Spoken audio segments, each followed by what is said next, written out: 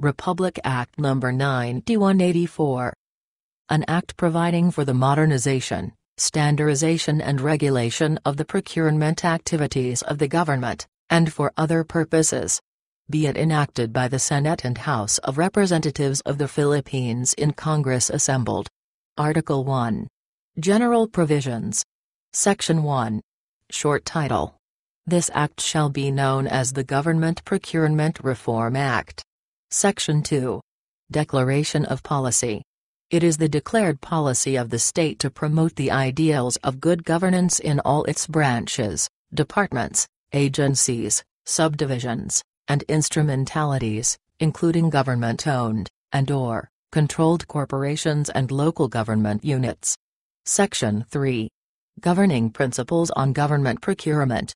All procurement of the national government, its departments, bureaus, offices and agencies, including state universities and colleges, government-owned, and or, controlled corporations, government financial institutions, and local government units, shall, in all cases, be governed by these principles. A. Transparency in the procurement process and in the implementation of procurement contracts. B competitiveness by extending equal opportunity to enable private contracting parties who are eligible and qualified to participate in public bidding. C. Streamline procurement process that will uniformly apply to all government procurement.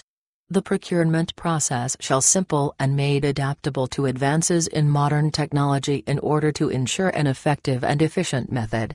D system of accountability where both the public officials directly or indirectly involved in the procurement process as well as in the implementation of procurement contracts and the private parties that deal with government are, when warranted by circumstances, investigated and held liable for their actions relative thereto. E public monitoring of the procurement process and the implementation of awarded contracts with the end in view of guaranteeing that these contracts are awarded pursuant to the provisions of this Act and its implementing rules and regulations, and that all these contracts are performed strictly according to specifications. Section 4. Scope and Application. This Act shall apply to the procurement of infrastructure projects, goods and consulting services, regardless of source of funds, whether local or foreign, by all branches and instrumentalities of government, its departments, offices and agencies, including government-owned, and or, controlled corporations and local government units, subject to the provisions of Commonwealth Act No. 138. Any treaty or international law or executive agreement affecting the subject matter of this act to which the Philippine government is signatory shall be observed. Section 5. Definition of terms. For purposes of this Act, the following terms or words and phrases shall mean or be understood as follows A. Approved budget for the contract, or, ABC, refers to the budget for the contract duly approved by the head of the procuring entity, as provided for in the General Appropriations Act, and or, continuing appropriations, in the national government agencies the corporate budget for the contract approved by the governing boards, pursuant to Executive Order No. 518, Series of 1979, in the case of government financial institutions and state universities and colleges, and the budget for the contract approved by the respective Sanggunian, in the case of local government units. B. BAC, refers to the Bids and Awards Committee established in accordance with Article 5 of this Act. C. Bidding documents refer to documents issued by the procuring entity as the basis for bids, furnishing all information necessary for a prospective bidder to prepare a bid for the goods, infrastructure projects, and consulting services to be provided. D. Bid refers to signed offer or proposal submitted by a supplier, manufacturer, distributor, contractor or consultant in response to the bidding documents.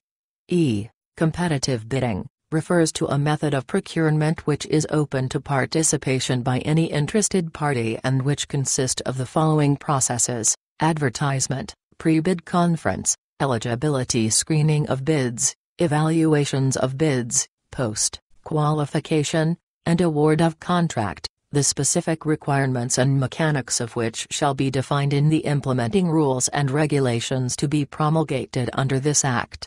F. Consulting Services referred to services for infrastructure projects and other types of projects or activities of the government requiring adequate external technical and professional experts that are beyond the capability, and or, capacity of the government to undertake such as, but not limited to, first, advisory and review services, second, pre-investment or feasibility studies, third, design, fourth, construction supervision, fifth, management and related services. And, sixth, other technical services or special studies. G. GEPS refers to the Government Electronic Procurement System, as provided in Section 8 of this Act. H.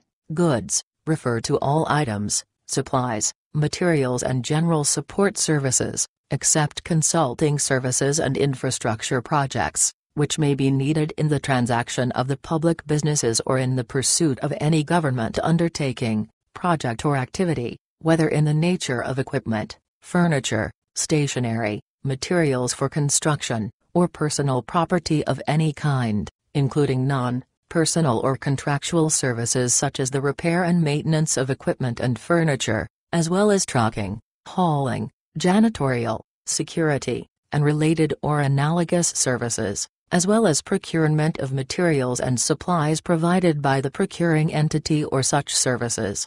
I, GPPB, refers to the Government Procurement Policy Board established in accordance with Article X of this Act.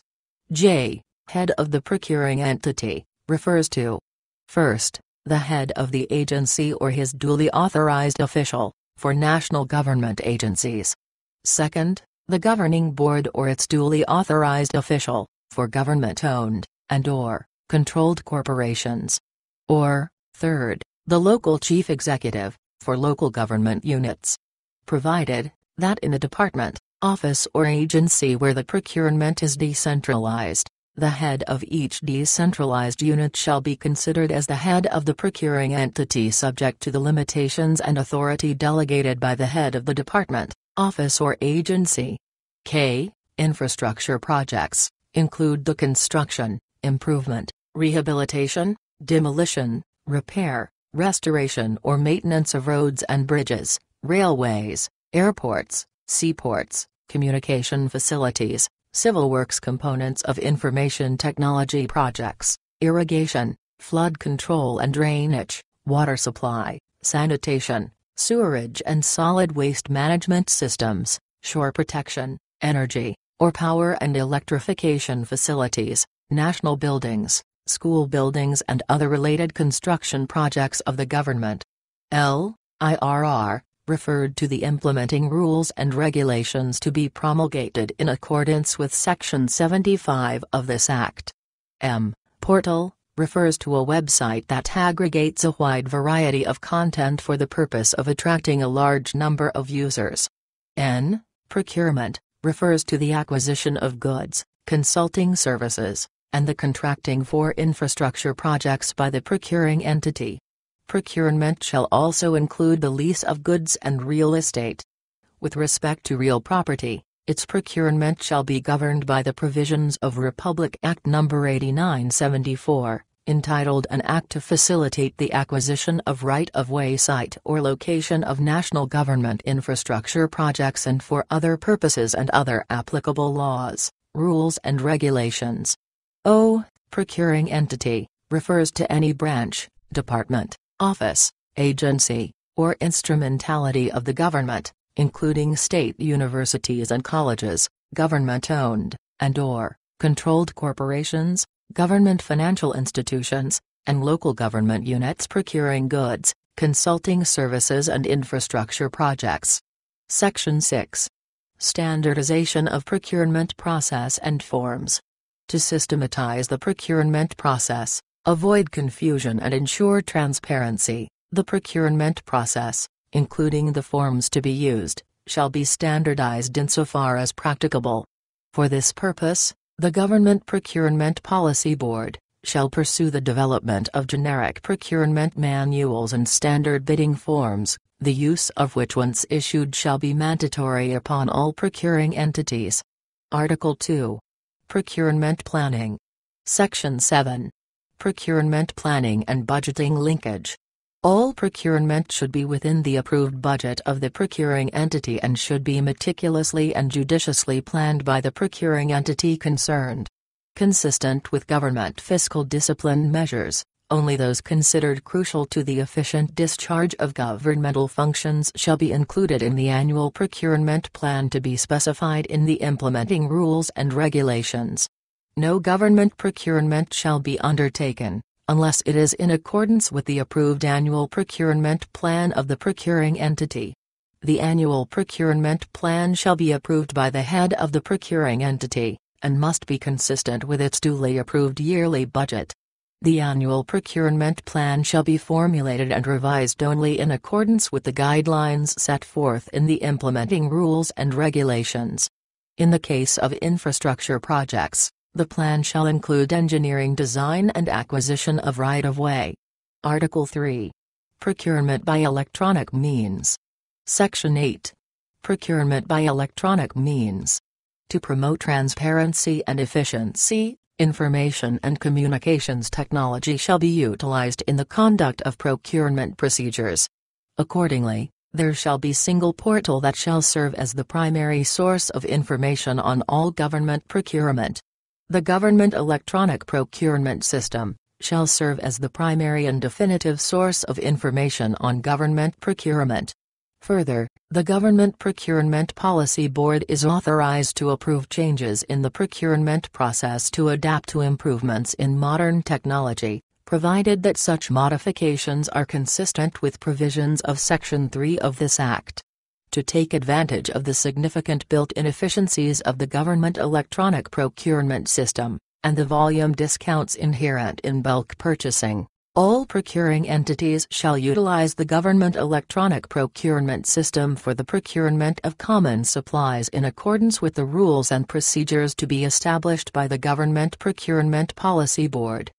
With regard to the procurement of non-common use items, infrastructure projects and consulting services, Agencies may hire service providers to undertake their electronic procurement provided these service providers meet the minimum requirements set by the Government Procurement Policy Board. Section 9. Security, Integrity and Confidentiality. The Government Electronic Procurement System shall ensure the security, integrity and confidentiality of documents submitted through the system, it shall include feature that provides for an audit trail for online transactions and allow the Commission on Audit to verify the security and integrity of the systems at any time. Article 4. Competitive Bidding. Section 10. Competitive Bidding. All procurement shall be done through competitive bidding, except as provided for in Article 16 of this Act. Article 5. Bids and Awards Committee. Section 11 the Bids and Awards Committee and its composition. Each procuring entity shall establish a single Bids and Awards Committee for its procurement. The Bids and Awards Committee shall have at least five members, but not more than seven members. It shall be chaired by at least a third-ranking permanent official of the procuring entity other than its head, and its composition shall be specified in the implementing rules and regulations. Alternatively, as may be deemed fit by the head of the procuring entity, there may be separate bids and awards committees where the number and complexity of the items to be procured shall so warrant. Similar bids and awards committees for decentralized and lower-level offices may be formed when deemed necessary by the head of the procuring entity. The numbers of the Bids and Awards Committee shall be designated by the head of procuring entity. However, in no case shall the approving authority be a member of the Bids and Awards Committee. Unless sooner removed for cause, the members of the Bids and Awards Committee shall have a fixed term of one year reckoned from the date of appointment, renewable at the discretion of the head of the procuring entity. In case of resignation, retirement, separation, transfer, reassignment, removal, the replacement shall serve only for the unexpired term, provided, that in case of leave or suspension, the replacement shall serve only for the duration of the leave or suspension.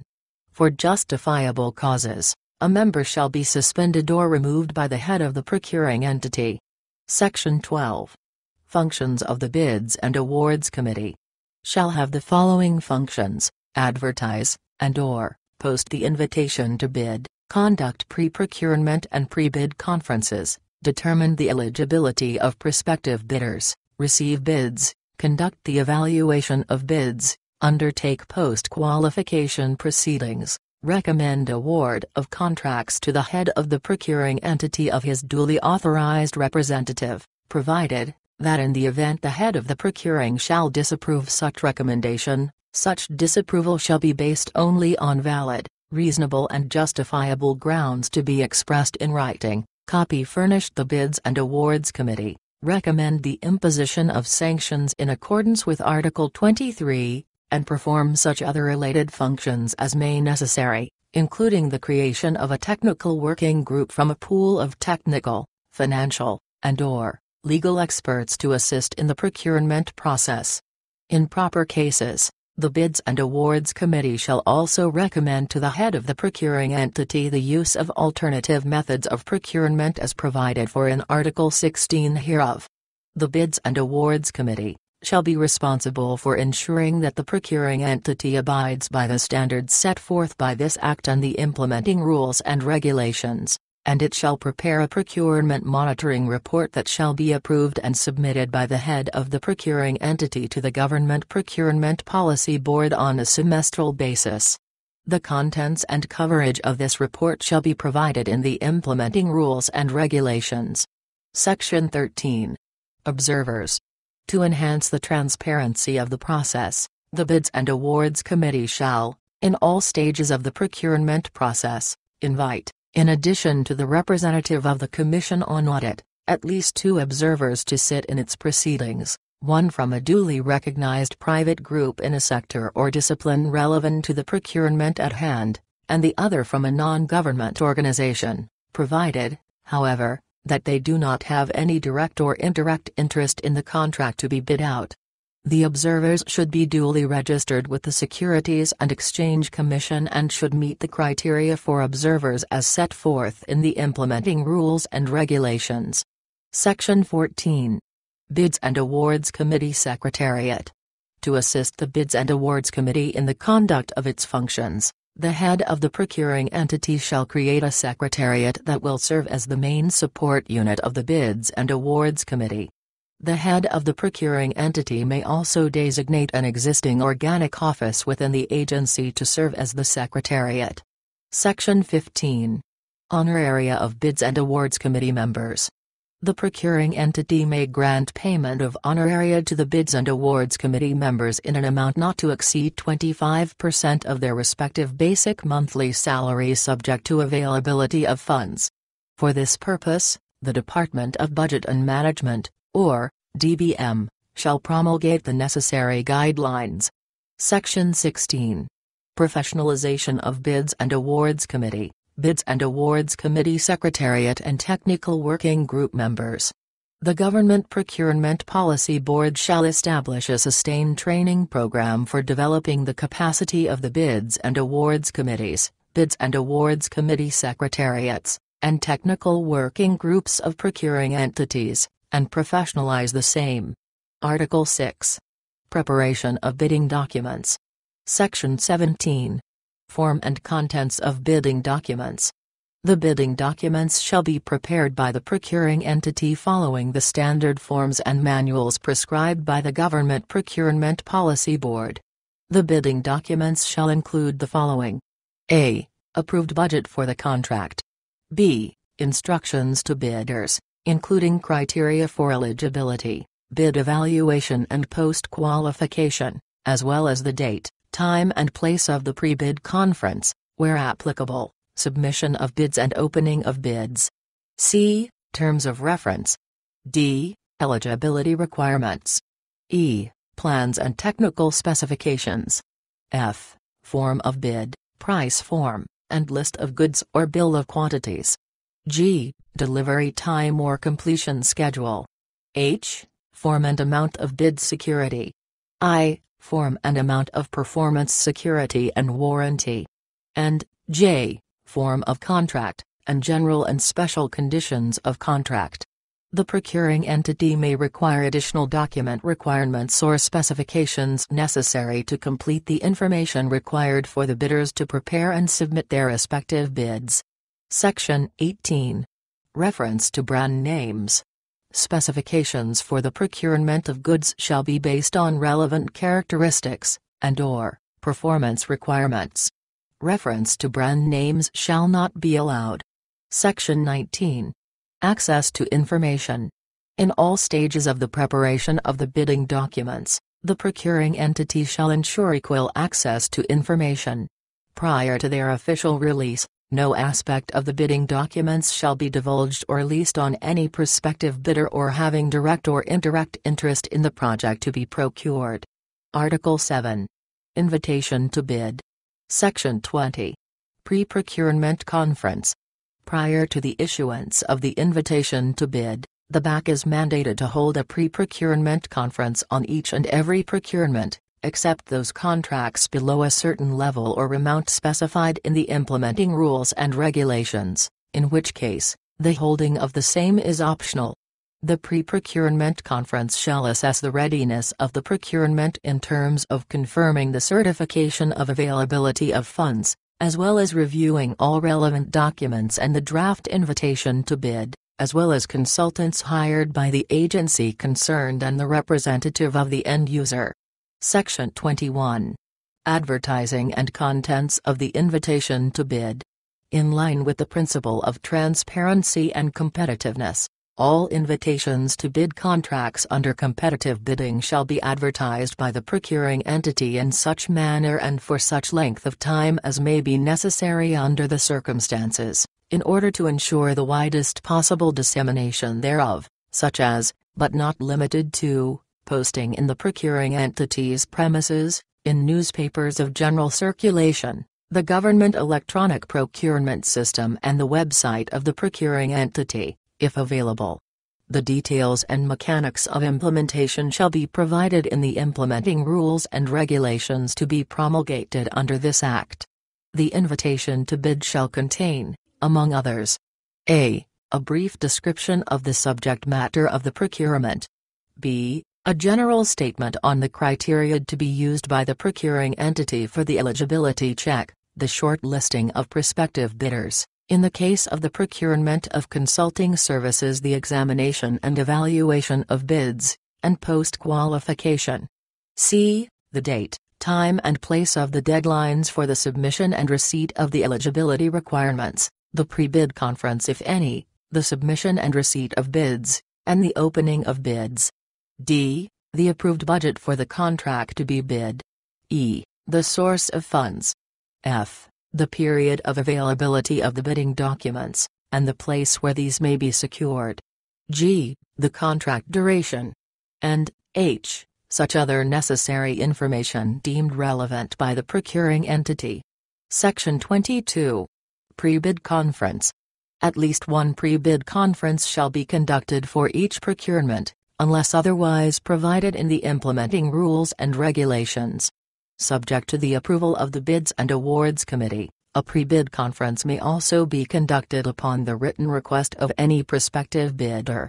The pre-bid conference, or conferences shall be held within a reasonable period before the deadline for receipt of the bids to allow prospective bidders to adequately prepare their bids, which shall be specified in the implementing rules and regulations. Article 8. Receipt and opening of bids. Section 23. Eligibility requirements for the procurement of goods and infrastructure projects. The Bids and Awards Committee or, under special circumstances specified in implementing rules and regulations, its duly designated organic office shall determine the eligibility of prospective bidders for the procurement of goods and infrastructure projects, based on the bidder's compliance with the eligibility requirements within the period set forth in the invitation to bid. The eligibility requirements shall provide for fair and equal access to all prospective bidders. The documents submitted in satisfaction of the eligibility requirements shall be made under oath by the prospective bidder or by his duly authorized representative certifying to the correctness of the statements made and the completeness and authenticity of the documents submitted. A prospective bidder may be allowed to submit his eligibility requirements electronically. However, said bidder shall later on certify under oath as to correctness of the statements made and the completeness and authenticity of the documents submitted. Section 24. Eligibility requirements and shortlisting for consulting services. The eligibility of prospective bidders for the procurement of consulting services shall be determined by their compliance with the eligibility requirements prescribed for the competitive bidding concerned within the period stated in the invitation to bid. The eligibility requirements shall provide for fair and equal access to all prospective bidders. The prospective bidder shall certify under oath as to the correctness of the statements made, and the completeness and authenticity of the documents submitted. A prospective bidder may be allowed to submit his eligibility requirements electronically. However, said bidder shall later on certify under oath as to correctness of the statements made and the completeness and authenticity of the documents submitted. The eligible prospective bidders shall then be evaluated using numerical ratings on the basis of the shortlisting requirements prescribed for the competitive bidding concerned, within the period stated in the invitation to bid to determine the short list of bidders who shall be allowed to submit their respective bids. Section 25 submission and receipt of bids. A bid shall have two components, namely the technical and financial components which should be in separate sealed envelopes, and which shall be submitted simultaneously. The bids shall be received by the Bids and Awards Committee on such date, time and place specified in the invitation to bid. The deadline for the receipt of bids shall be fixed by the Bids and Awards Committee giving the prospective bidder sufficient time to study and prepare their bids. The deadline shall also consider the urgency of the procurement involved. Bids submitted after the deadline shall not be accepted. Notwithstanding the provisions of this section, and Section 26 of this Act, the Government Procurement Policy Board may prescribe innovative procedure for the submission, receipt and opening of bids through the Government Electronic Procurement System. Section 26. Modification and withdrawal of bids. A bidder may modify his bid, provided that this is done before the deadline for the receipt of bids. The modification shall be submitted in a sealed envelope duly identified as a modification of the original bid and stamped received by the Bids and Awards Committee. A bidder may, through a letter, withdraw his bid or express his intention not to participate in the bidding before the deadline for the receipt of bids. In such case, he shall no longer be allowed to submit another bid or the same contract either directly or indirectly. Section 27. Bid Security.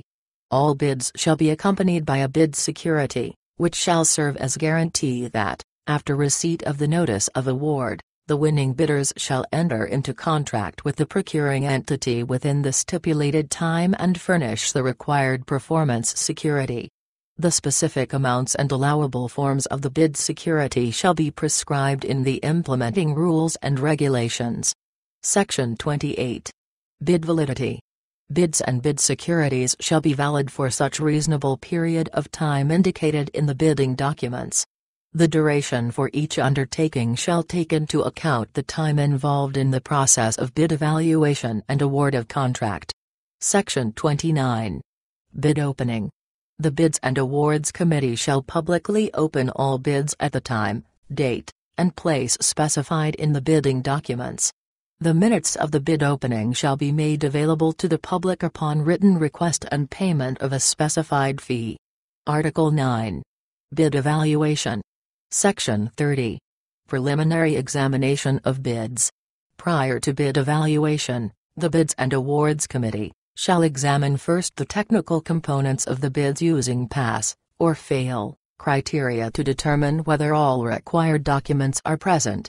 Only bids that are determined to contain all the bid requirements of the technical component shall be considered for opening and evaluation of their financial component. Section 31. Ceiling for bid prices.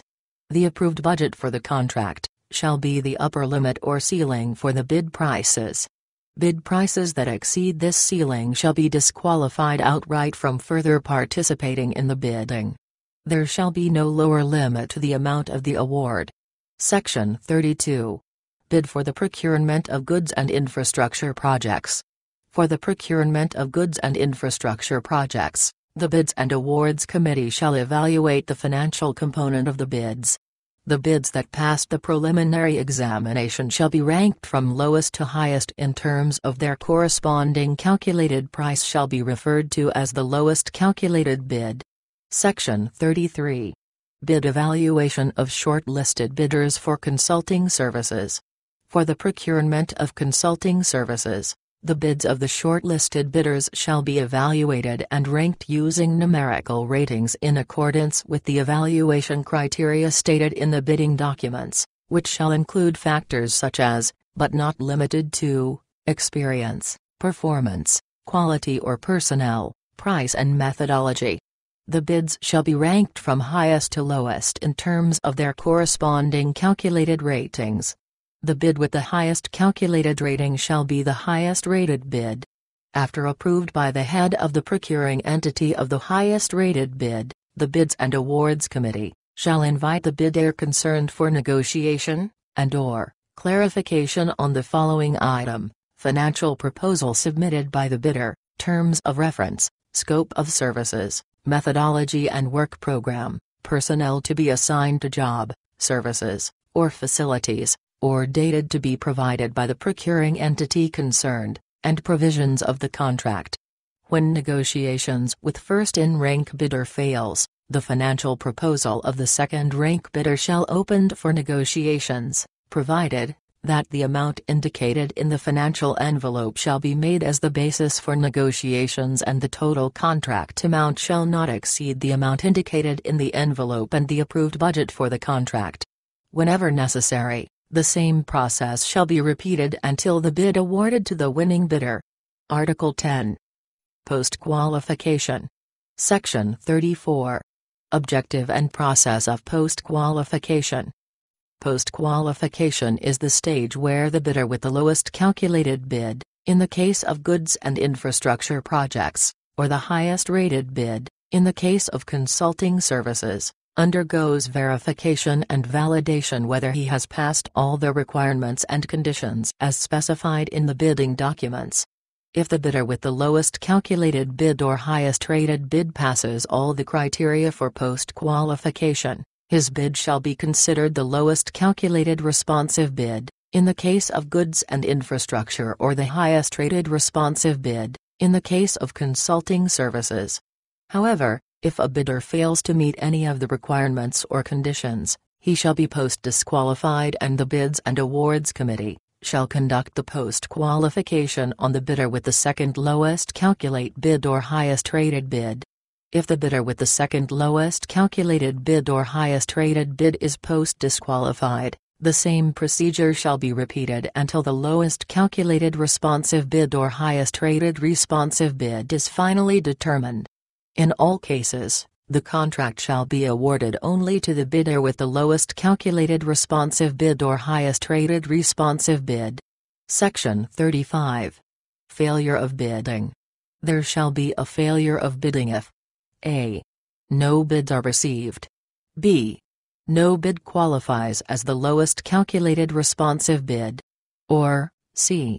Whenever the bidder with the highest rated, or lowest calculated responsive bid refuses, without justifiable cause to accept the award of contract, as the case may be. Under any of the above instances, the contract shall be re-advertised and rebid. The Bids and Awards Committee shall observe the same process and set the new periods according to the same rules followed during the first bidding. After the second failed bidding, however, the Bids and Awards Committee may resort to negotiated procurement as provided for in Section 53 of this Act. Section 36. Single calculate, orated and responsive bid submission. A single calculated, orated and responsive bid shall be considered for award if it falls under of the following circumstances. A. If after advertisement, only one prospective bidder submits a letter of intent, and or, applies for eligibility check, and meets the eligibility requirements or criteria, after which it submits a bid, which is found to be responsive to the bidding requirements. b. If after the advertisement, more than one prospective bidder applies for eligibility check, but only one bidder meets the eligibility requirements or criteria, after which in submits a bid which is found to be responsive to the bidding requirements. Or, c. If after the eligibility check, more than one bidder meets the eligibility requirements, but only one bidder submits a bid, and its bid is found to be responsive to the bidding requirements. In all instances, the procuring entity shall ensure that the approved budget for the contract reflects the most advantageous prevailing price for the government. Article 11. Award, Implementation and Termination of the Contract. Section 37. Notice an executive of award. Within a period not exceeding 15 calendar days from the determination and declaration by the Bids and Awards Committee of the lowest calculated responsive bid or highest rated responsive bid, and the recommendation of the award, the head of the procuring entity or his duly authorized representative shall approve or disapprove the said recommendation. In case of approval, the head of the procuring entity or his duly authorized representative shall immediately issue the notice of award to the bidder with the lowest calculated responsive bid or highest rated responsive bid. Within 10 calendar days from receipt of the notice of award, the winning bidder shall formally enter into contract with the procuring entity. When further approval of higher authority is required, the approving authority for the contracts shall be given a maximum of 20 calendar days to approve or disapprove it. In the case of government-owned, and or, controlled corporations, the concerned board shall take action on the said recommendation within 30 calendar days from receipt thereof. The procuring entity shall issue the notice to proceed to the winning bidder not later than 7 calendar days from the date of approval of the contract by the appropriate authority. All notices called for by the terms of the contract shall be effective only at the time of receipt thereof by the contractor. Section 38. Period of action on procurement activities. The procurement process from the opening of bids up to the award of contract shall not exceed three months, or a shorter period to be determined by the procuring entity concerned. Without prejudice to the provisions of the preceding section, the different procurement activities shall be completed within reasonable periods to be specified in the implementing rules and regulations. If no action on the contract is taken by the head of the procuring entity or by his duly authorized representative, or by the concerned board, in the case of government-owned, and or, controlled corporations, within the period specified in the preceding paragraph, the contract concerned shall be deemed approved, Section 39. Performing security. Prior to the signing of the contract, the winning bidder shall, as a measure of guarantee for the faithful performance of and compliance with his obligations under the contract prepared in accordance with the bidding documents, be required to post a performance security in such form and amount as specified in the bidding documents. Section 40. Failure to enter into contract and post performance security. If, for justifiable causes, the bidder with the lowest calculated responsive bid or highest rated responsive bid fails, refuses or is otherwise unable to enter into contract with the procuring entity, or if the bidder fails to post the required performance security within the period stipulated in the bidding documents, the Bids and Awards Committee shall disqualify the said bidder and shall undertake post-qualification for the next ranked lowest calculated bid or highest rated bid. This procedure shall be repeated until an award is made. However, if no award is possible, the contract shall be subjected to a new bidding. In the case of a failure to post the required performance security, the bid security shall be forfeited without prejudice to the imposition of sanctions prescribed under Article 23. Section 41. Reservation Clause. The head of the agency reserves the right to reject any and all bids, declare a failure of bidding, or not award the contract in the following situations. A. If there is prima facie evidence of collusion between appropriate public officers or employees of the procuring entity, or between the Bids and Awards Committee and any of the bidders, or if the collusion is between or among the bidders themselves, or between a bidder and a third party, including any act which restricts, suppresses or nullifies or tends to restrict, suppress or nullify competition. b. If the Bids and Awards Committee is found to have failed in following the prescribed bidding procedures. Or, c for any justifiable and reasonable ground where the award of the contract will not redound to the benefit of the government as defined in the implementing rules and regulations. Section 42.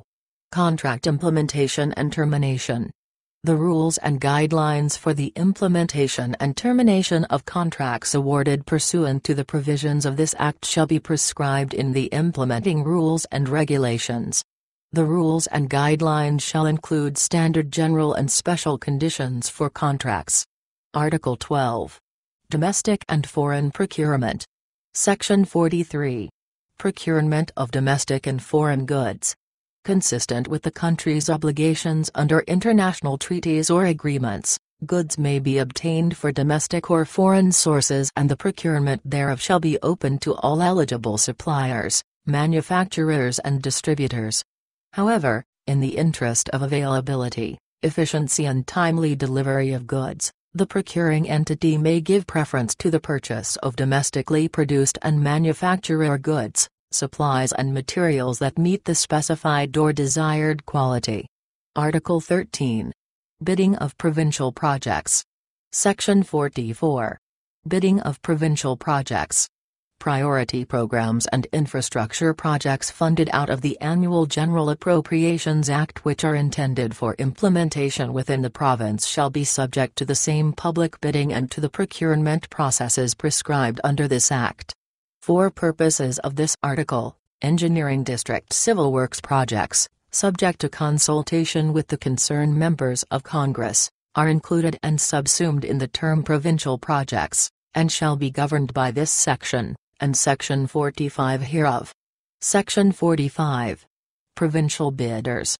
Within five years from the effectivity of this Act, contractor who participates in the bidding of provincial priority programs and infrastructure projects, whose principal office is within the same province, and who submits the lowest bid among the provincial bidders which is higher than the lowest bid made by a contractor with principal office outside the said province shall be granted the privilege to match the bid made by the latter, provided, however, that the release of funds for said projects shall be published in a local newspaper with the widest circulation and the website of the Department of Budget and Management, or DBM the mechanisms of which shall be spelled out in the implementing rules and regulations.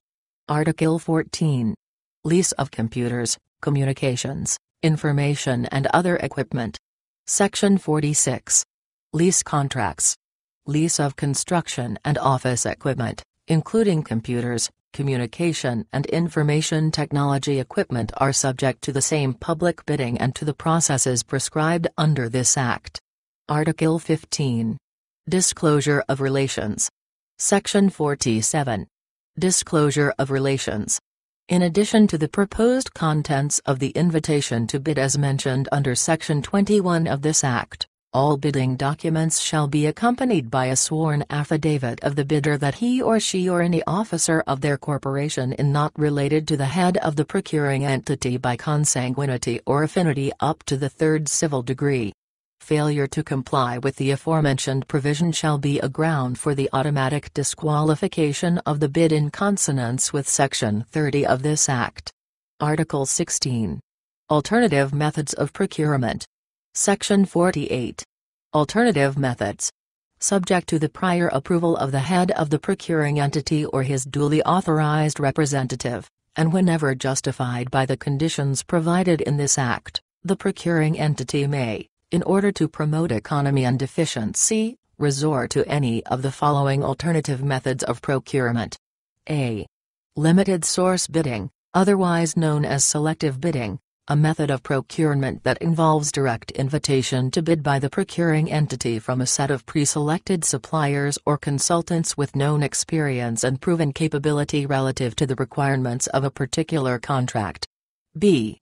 Direct contracting, otherwise known as single-source procurement, a method of procurement that does not require elaborate bidding documents because the supplier is simply asked to submit a price quotation or a pro forma invoice together with the conditions of sale, which offer may be accepted immediately or after some negotiations. C. Repeat order a method of procurement that involves a direct procurement of goods from the previous winning bidder, whenever there is a need to replenish goods procured under a contract previously awarded through competitive bidding. D. Shopping, a method of procurement whereby the procuring entity simply requests for the submission of price quotations for readily available off-the-shelf goods or ordinary, or regular equipment to be procured directly from suppliers of known qualification or e. Negotiated procurement, a method of procurement that may be resorted under the extraordinary circumstances provided for in Section 53 of this Act and other instances that shall be specified in the implementing rules and regulations, whereby the procuring entity directly negotiates a contract with a technically, legally and financially capable supplier, contractor or consultant. In all instances, the procuring entity shall ensure that the most advantageous price for the government is obtained. Section 49. Limited source bidding. Limited source bidding may be resorted to only in any of the following conditions. A. Procurement of highly specialized types of goods and consulting services which are known to be obtainable only from a limited number of sources. Or, B procurement of major plant components where it is deemed advantageous to limit the bidding to known eligible bidders in order to maintain an optimum and uniform level of quality and performance of the plant as a whole. Section 50. Direct contracting. Direct contracting may be resorted to only in any of the following conditions. A. Procurement of goods of propriety nature, which can be obtained only from the propriety source, that is when patents, trade secrets and copyrights prohibit others from manufacturing the same items. b. When the procurement of critical components from a specific manufacturer, supplier, or distributor is a condition precedent to hold a contractor to guarantee its project performance, in accordance with the provisions his contract. Or, c. Those sold by an exclusive dealer or manufacturer, which does not have sub-dealers selling at lower prices and for which no suitable substitute can be obtained at more advantageous terms to the government. Section 51. Repeat order. When provided for in the annual procurement plan, repeat order may be allowed wherein the procuring entity directly procures goods from the previous winning bidder whenever there arises a need to replenish goods procured under a contract previously awarded through competitive bidding subject to post-qualification process prescribed in the bidding documents and provided all the following conditions are present. A. The unit price must be equal to or lower than that provided in the original contract. B. The repeat order does not result in splitting of requisitions or purchase orders. C except in special circumstances defined in the implementing rules and regulations the repeat order shall be availed of only within six months from the date of the notice to proceed arising from the original contract. And, d. The repeat order shall not exceed 25% of the quantity of each item of the original contract. Section 52. Shopping. Shopping may be resorted to under any of the following instances. A when there is an unforeseen contingency requiring immediate purchase, provided, however, that the amount shall not exceed 50,000 pesos. Or, b. Procurement of ordinary or regular office supplies and equipment not available in the procurement service involving an amount not exceeding 250,000 pesos, provided, however, that the procurement does not result in splitting of contracts, provided, Further, that at least three price quotations from bona fide suppliers shall be obtained. The above amounts shall be subject to a period review by the Government Procurement Policy Board, or GPPB. For this purpose, the Government Procurement Policy Board shall be authorized to increase or decrease the said amount in order to reflect changes in economic conditions and for other justifiable reasons. Section 53 Negotiated procurement. Negotiated procurement shall be allowed only in the following instances. A. In case of two failed bidding as provided in Section 35 hereof. B.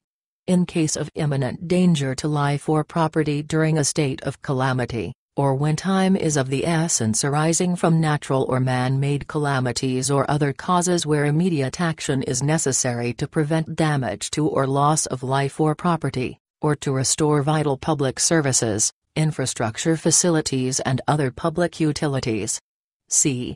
Takeover of contracts which have been rescinded or terminated for causes provided for in the contract and existing laws, where immediate action is necessary to prevent damage to or loss of life or property, or to restore vital public services, infrastructure facilities and other public utilities. D. Where the subject contract is adjacent or contiguous to an ongoing infrastructure project, as defined in the implementing rules and regulations, provided, however, that the original contract is the result of a competitive bidding. The subject contract to be negotiated has similar or related scopes of work, it is within the contracting capacity of the contractor. The contractor uses the same prices or lower unit prices as in the original contract less mobilization cost. The amount involved does not exceed the amount of the ongoing project, and, the contractor has no negative slippage, provided, Further, that negotiations for the procurement are commenced before the expiry of the original contract. Wherever applicable, the principle shall also govern consultancy contract, where the consultants have unique experience and expertise to deliver the required service. Or, e.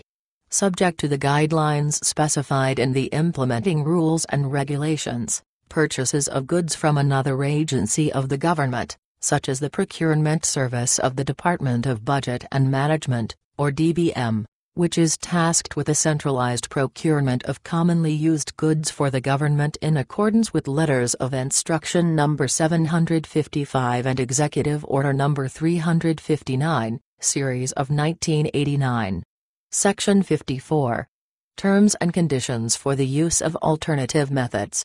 The specific terms and conditions, including the limitations and restrictions, for the application of each of the alternative methods mentioned in this article shall be specified in the Implementing Rules and Regulations, or IRR. Article 17. Protest Mechanism. Section 55. Protests on decisions of the Bids and Awards Committee. Decisions of the Bids and Awards Committee in all stages of procurement may be protested to the head of the procuring entity and shall be in writing.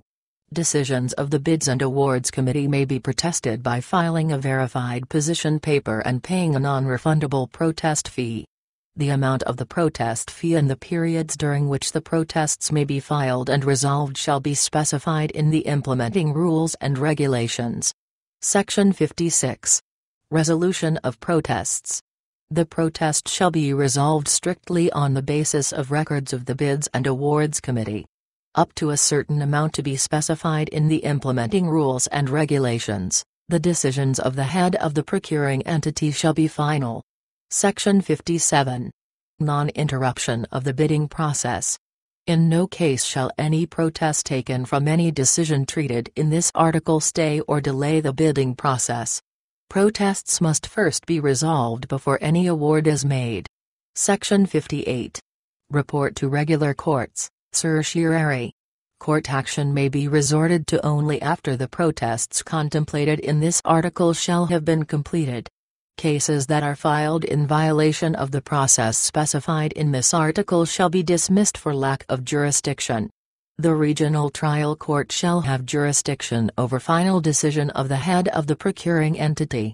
Court actions shall be governed by Rule 65 of the 1997 Rules of Civil Procedure.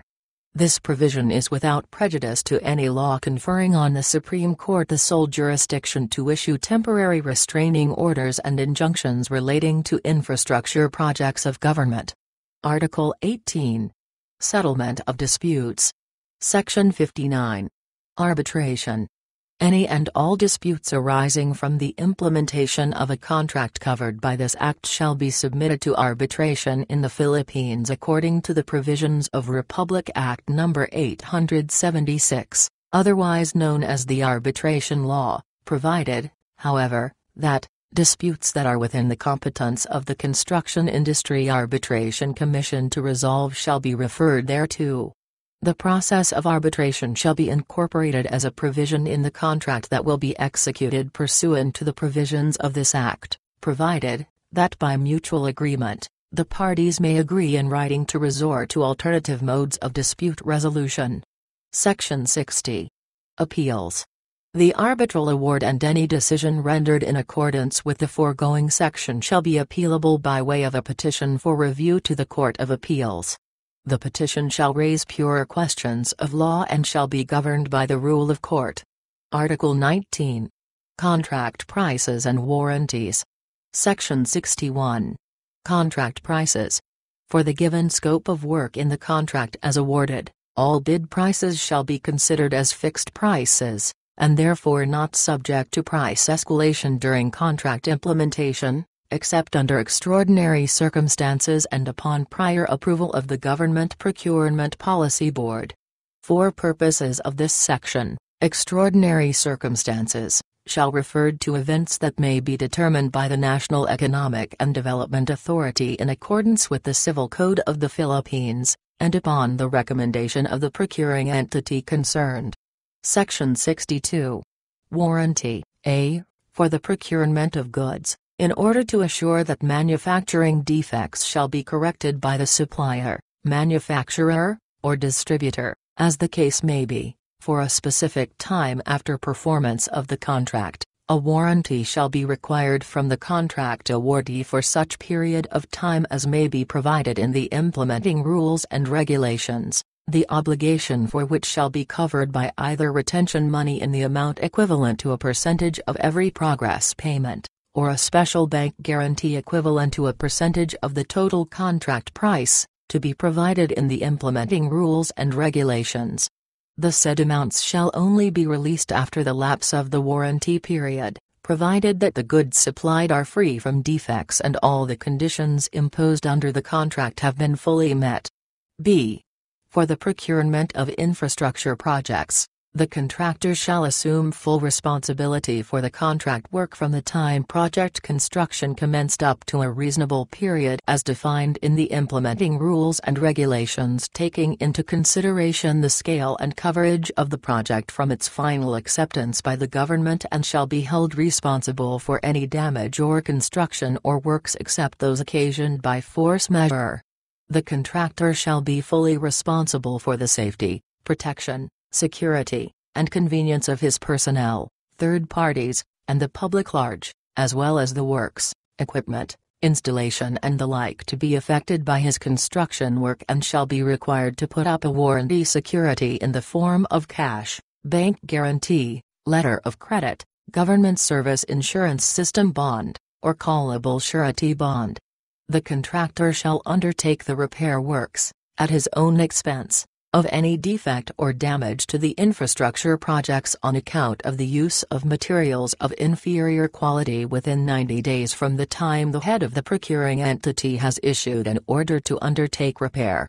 In case of failure or refusal to comply with this mandate, the governments shall undertake such repair works and shall be entitled to full reimbursement of expenses incurred therein upon demand. Any contractor who fails to comply with the preceding paragraphs shall suffer perpetual disqualification from participating in any public bidding and his property or properties shall be subject to attachment or garnishment proceedings to recover the costs. All payables of government in his favor shall be offset to recover the costs. Article 20. The Government Procurement Policy Board. Section 63. Organization and Functions. A Government Procurement Policy Board, or GPPB, is hereby established to a. Protect national interest in all matters affecting public procurement, having due regard to the country's regional and international obligations. b. Formulate and amend, whenever necessary, the implementing rules and regulations, and the corresponding standard forms for procurement. c ensure that procuring entities regularly conduct procurement training programs and prepare a procurement operations manual for all offices and agencies of government. And d. Conduct an annual review of the effectiveness of this act and recommend any amendments thereto, as may be necessary. The Government Procurement Policy Board shall convene within 15 days from the effectivity of this act formulate the implementing rules and regulations, and for other related purposes. The Government Procurement Policy Board shall be supported by a Technical Support Office. In addition to the powers granted under this Act, the Government Procurement Policy Board shall absorb all the powers, function and responsibilities of the Procurement Policy Board created under Executive Order No. 359, Series of 1989. All affected functions of the Infrastructure Committee of the National Economic and Development Authority Board are hereby transferred to the Government Procurement Policy Board. Section 64. Membership.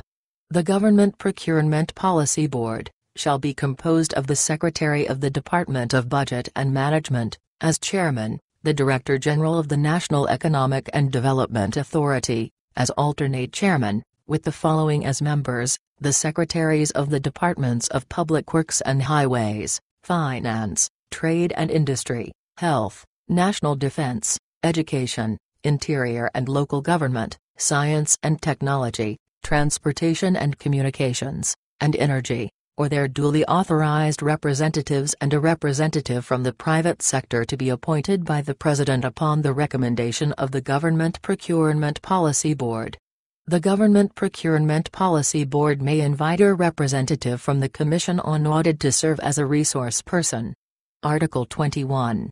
Penal Clause. Section 65. Offenses and Penalties, A. Without prejudice to the provisions of Republic Act No. 3019, otherwise known as the Anti-Graft and Corrupt Practice Act and other penal laws, Public officers who commit any of the following acts shall suffer the penalty of imprisonment of not less than six years and one day, but not more than 15 years. 1. Open any sealed bid including but not limited to bids that may have been submitted through the electronic system and any and all documents required to be sealed or divulging their contents, prior to the appointed time for the public opening of bids or other documents. 2. Delaying, without justifiable cause, the screening for eligibility, opening of bids, evaluation and post-evaluation of bids, and awarding of contracts beyond the prescribed periods of bids or other documents. 3.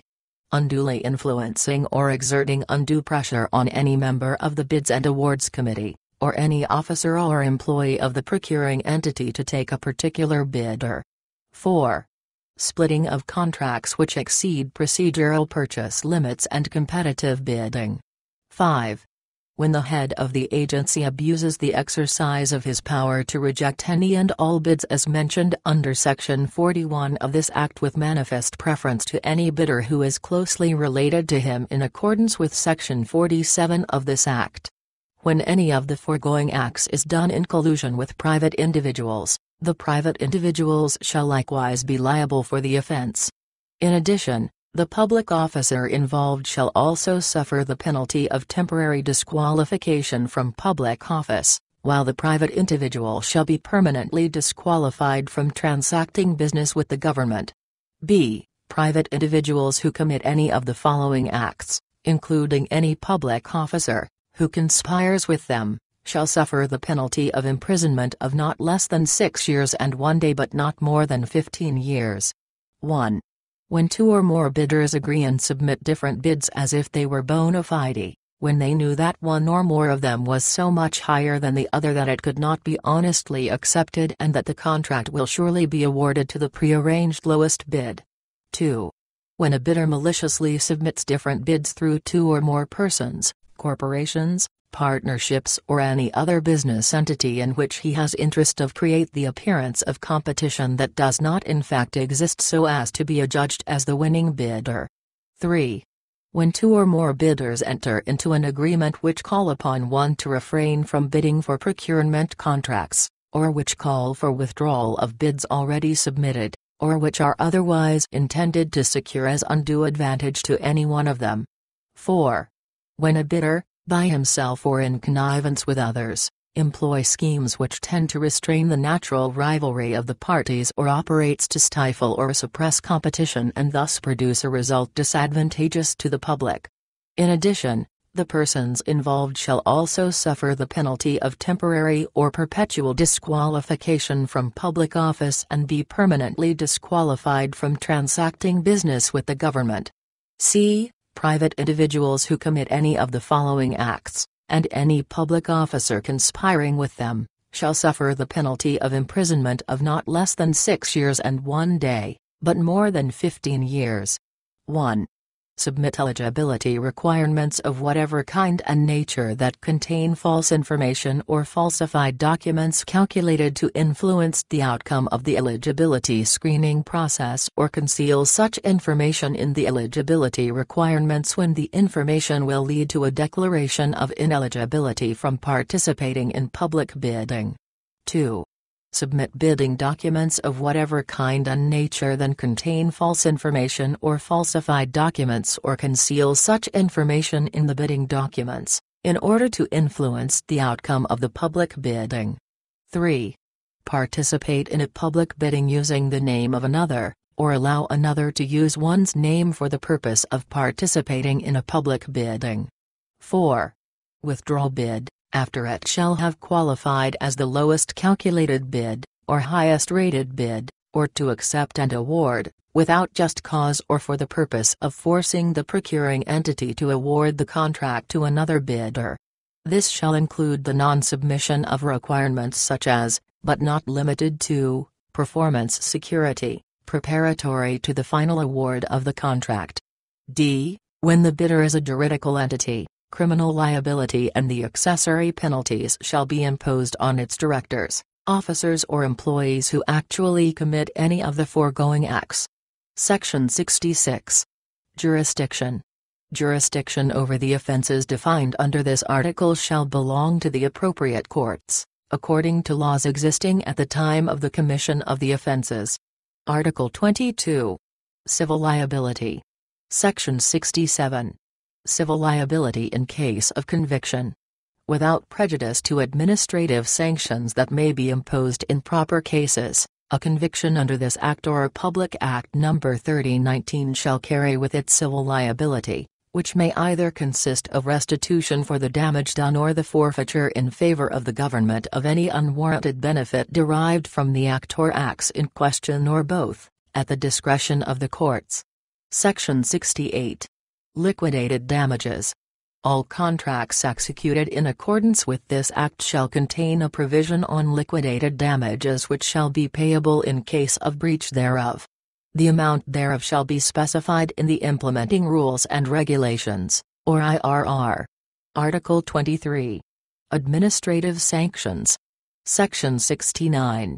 Imposition of administrative penalties, A. In addition to the provisions of Articles 21 and 22 of this Act, the head of the procuring entity, subject to the authority delegated to the Bids and Awards Committee, or BAC, if any, shall impose on bidders or prospective bidders, the administrative penalty of suspension for one years for the first offense, and suspensions of two years for the second offense from participating in the public bidding process, for the following violations. 1 submission of eligibility requirements containing false information or falsified documents. 2.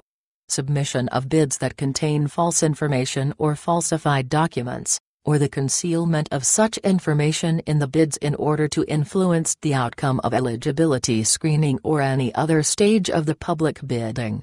3. Allowing the use of one's name, or using the name of another for purposes of public bidding. 4 withdrawal of a bid, or refusal to accept an award, or enter into contract with the government without justifiable cause, after he had been adjudged as having submitted the lowest calculated responsive bid or highest rated responsive bid. 5.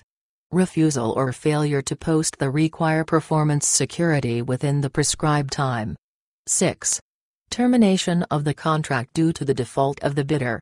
Refusal to clarify or validate in writing its bid during post-qualification within a period of seven calendar days from receipt of the request for clarification. Any documented unsolicited attempt by a bidder to unduly influence the outcome of the bidding in his favor. All other acts that tend to defeat the purpose of the competitive bidding. b. In addition to the penalty of suspension, the bid security of the performance security posted by the concerned bidder or prospective bidder shall also be forfeited. C. The head of the procuring entity may delegate to the Bids and Awards Committee the authority to impose the aforementioned administrative penalties. Section 70. Preventive suspension. The head of the procuring entity may preventively suspend any member of the technical working group of the Secretariat or the Bids and Awards Committee if there are strong reasons or prima facie evidence showing that the officials or employees concerned are guilty or the charges filed against them under Articles 21 and 22 of this Act or for dishonesty as defined by the civil service laws. In all cases, procedural and substantive due process as mandated by the Constitution and civil service laws, rules and regulations, shall be strictly observed. Section 71. Lifting of suspension and removal of administrative disabilities. Lifting of preventive suspension pending administrative investigation, as well as removal of administrative investigation, as well as removal of administrative penalties and disabilities shall be in accordance with the provisions of Sections 52 and 53, Chapter 6, Civil Service Commission, Book 5 of Executive Order Numbered 292. The Administrative Code of 1987. Article 24. Legal Assistance and Indemnification of Bids and Awards Committee Members. Section 72. Private Legal Assistance. All the members of the Bids and Awards Committee are hereby authorized to engage the service of private lawyers or extend counsel immediately upon receipt of court notice that a civil or criminal action, suit or proceeding is filed against them. The lawyer's fee shall be part of the indemnification package for the Bids and Awards Committee members, subject to the provisions of Section 73 hereof. Section 73. Indemnification of Bids and Awards Committee members. The Government Procurement Policy Board shall establish an equitable indemnification package for public officials providing services in the Bids and Awards Committee, which may be in the form of free legal assistance, liability insurance, and other forms of protection and indemnification for all cost and expenses reasonably incurred by such persons in connection with any civil or criminal actions, suit or proceeding to which they may be, or have been made, a party by reason of the performance of their functions or duties, unless they are finally adjudged in such action or proceeding to be liable for gross negligence or misconduct or grave abuse of discretion. In the event of settlement or compromise, indemnification shall be confined only on matters covered by the settlement, as to which the procuring entity had been advised by counsel that the public officials to be indemnified have not committed gross negligence or misconduct in the performance of their functions and duties. The members of the Bids and Awards Committee, and the Bids and Awards Committee Secretariat shall also be entitled to medical assistance for injuries incurred in the performance of their functions. Article 25. Final Provisions. Section 74. Oversight Committee. There is hereby created a joint Congressional Oversight Committee to oversee the implementation of this Act for a period not exceeding five years from the effectivity of this Act. The committee shall be composed of the chairman of the Senate Committee on Constitutional Amendments and Revision of Laws and two members thereof appointed by the Senate President, and the chairman of the House Committee on Appropriations, and two thereof to be appointed by the Speaker of the House of Representatives. Section 75. Implementing Rules and Regulations and Standard Forms. Within 60 days from the promulgation of this Act, the necessary rules and regulations for the proper implementation of its provisions shall be formulated by the Government Procurement Policy Board, jointly with the members of the Oversight Committee created under Section 74 hereof. The said rules and regulations shall be approved by the President of the Philippines. for a period not later than 30 days upon the approval of the implementing rules and regulations the standard forms for procurement shall be formulated and approved. Section 76. Repealing Clause. This law repeals Executive Order No. 40, Series of 2001, entitled Consolidating Procurement Rules and Procedures for All National Government Agencies, Government-Owned or Controlled Corporations, and or government financial institutions, and requiring the use of the Government Electronic Procurement System, Executive Order No. 262, Series of 2000, entitled Amending Executive Order No. 302, Series of 1996, entitled Providing Policies, Guidelines, Rules and Regulations for the Procurement of Goods, or supplies by the national government and Section 3 of Executive Order No. 201, Series of 2000, entitled Providing Additional Policies and Guidelines and the Procurement of Goods, or Supplies by the National Government, Executive Order No. 302, Series of 1996, entitled Providing Policies, Guidelines, Rules and Regulations for the Procurement of Goods, or supplies by the national government and Presidential Decree No. 1594 dated June 11, 1978, entitled Prescribing Policies, Guidelines, Rule and Regulations for Government Infrastructure Contracts. This law amends Title VI, Book 2 of Republic Act No. 7160, otherwise known as the Local Government Code of 1991, the relevant provisions of Executive Order No. 164, Series of 1987, entitled An Act Providing Additional Guidelines in the Processing and Approval of Contracts of the Government, and the relevant provisions of Republic Act No. 7898 dated February 23, 1995, entitled An Act Providing for the Modernization of the Armed Forces of the Philippines and Other Purposes any other law, presidential decree or issuance, executive order, letter of instruction, administrative order, proclamation, charter, rule or regulation, and or parts thereof contrary to or inconsistent with the provisions of this act, hereby repealed, modified or amended accordingly. Section 77. Separability Clause. If any provision of this act is declared invalid or unconstitutional, the other provisions not affected thereby shall remain valid and subsisting. Section 78. Effectivity Clause. This act shall take effect 15 days following its publication in the Official's Gazette or in two newspapers of general circulation. Approved, January 10, 2003. Prepared by Taunton of Filam Band, who is the sunshine of my stormy life. Thank you for listening.